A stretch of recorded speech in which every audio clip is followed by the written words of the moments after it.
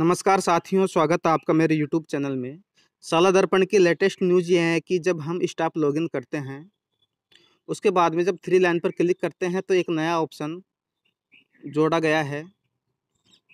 A P A R के नाम से ये वार्षिक कार्य मूल्यांकन प्रतिवेदन होता है। इसका डैशबोर्ड देख लेते हैं एक बार की किस प्रकार से इसमें एंट्रीज की जाती हैं। डैशबोर्ड खोलने के पश्चात annual performance appraisal report A P R application. तो इस प्रकार से स्टाफ बेसिक इन्फो आ जाती है, जिसमें आपकी सारी चीज़ें, डिटेल आपकी आ जाती है। अब नीचे आपके कुछ ऑप्शन दे रखे हैं, अगर क्लिक टू फिल। यदि आप फिल करना चाहते हैं न्यू ए पी आर या फिर एडिट करना चाहते हैं, उसके लिए ऑप्शन दे रखा है। इसके बाद पेंडिंग एपीआर फ़ील्ड एपीआर उसके बाद आप अपने एपीआर का स्टेटस भी देख सकते हैं। अगर आपको नया एपीआर भरना है तो क्लिक टू फिल इसके ऊपर आपको क्लिक कर देना है। फिर आपसे जो भी संबंधित आपकी डिटेल्स होंगी, वो आ जाएँगी।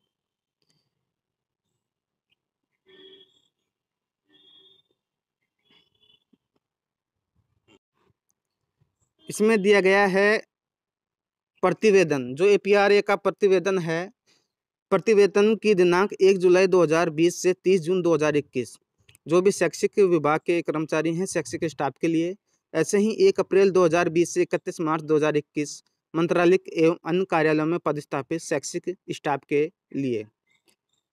तो अब इसमें सबसे पहला आता है फ्रॉम। हम कौन सी दिनांक से कौन सी दिनांक का भरना चाहते हैं? फ्रॉम डेट में प्रथम दिनांक आ जाएगी और टू डेट में लास्ट की दिनांक आ जाएगी। अब लीव का ऑप्शन दे रखा है कि कहाँ से कहाँ तक आपने लीव ली है। इसके बाद में एपीआर के ऑप्शन आते हैं। एपीआर की प्रविष्टि की जानी है।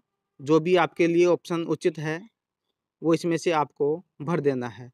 फॉर्म टाइप में एक ही ऑप्शन दे रखा है। इसके बाद में पोस्ट आपकी जो भी पोस्ट होगी वो ऑटोमेटिक आ जाएगी और आपका जो पोस्टिंग प्लेस होगा वो भी आ जाएगा। ये सारी चीज़ें भरने के बाद में आपको सेव कर देना है।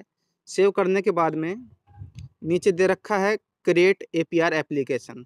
जैसे ही आप इसके ऊपर क्लिक करेंगे तो आपकी जो एप्लीकेशन होगी वो क्रिएट हो जाएगी। और अगर सभी को रिसेट करना चाहते हैं तो रिसेट ऑल दे रखा है।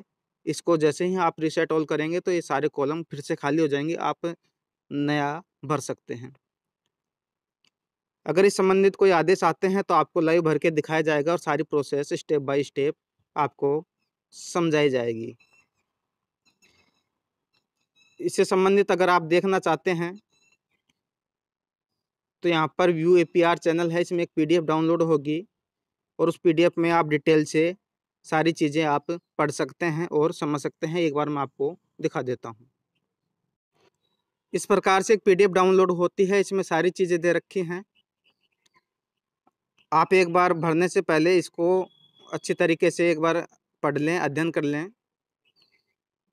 उसके बाद ही जो भी डिटेल्स पूछी जाएँ, आपको भर देनी है। ये बीस पेज का है। अगर आप ये पीडीएफ चाहते हैं तो आप कमेंट कर दीजिए।